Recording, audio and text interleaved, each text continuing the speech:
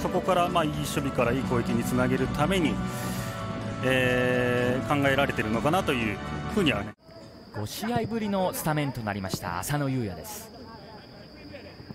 さあ柏からハイネルダイレクト、うん、ドーグラス・ビエイラ抜けたビエイラのシュート、うん、もう一度いくキム・ジンヒョンよく触りましたさあビエイラのプレッシングからスタート。左の藤井が行きます、うん、中を使おうというセレッソワンタッチ入ったと抜け出した。1対1、林出ましたこぼれた。タガートが遠目から狙っていきましたけれどももう一度セレッソ。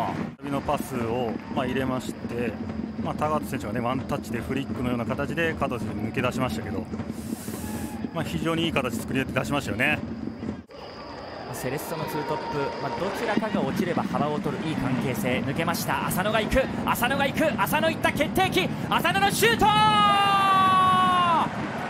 オフサイドディレイです。フラッグ上がっています。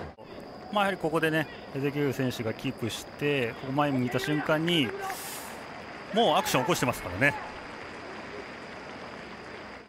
西尾ですさあ振動で幅取ってこちらもサイドハーフが中を取っています。あましたね。開きました。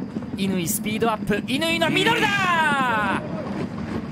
林パンチングもう一度セレッソ。すっとね中央に入ってきましたしまあここはね彼らしいというか、まあ、ドリブルを少し仕掛けながら。さあスローインからワンタッチでタガート。ストライカータガートから収めて坂本うまく前を向いた加藤がいった。加藤のフィニッシュ！よく触りました林拓人、まあ、スペースなかったんですけど、まあ、うまくもううまかったですよねスペースなかったんですけどうまくターンをして、まあ、枠いってましたからね。キレのある動き連発のシーンでした。さあもう一度セレッソ。まもなく54分さあ進藤が手を挙げている。進藤来た。進藤胸落とし。坂本来たぞ。坂本。進藤!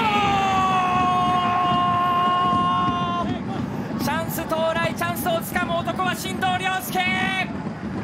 右サイドバック。進藤が決めました。先制セレッソ大阪、まあ、原川選手が持ったタイミングで、まあ、坂本選手が中央に入りましたからその空いたスペースをね、まあ、うまく進藤選手が入ってきましたしここワンツーのような形になりましたけど、まあ、落ち着いて、まあ、右隅にねこう流し込みましたよね。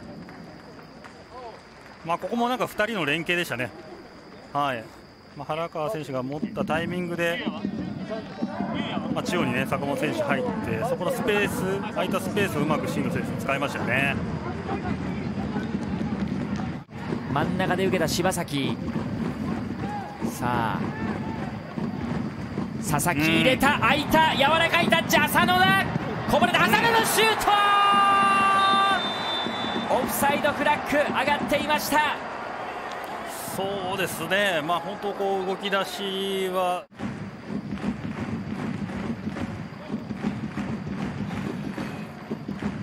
本当ギリギリですね。まあ、こういったを寄せるというところと、それから球際のところっていうのはしっかりできてますよね。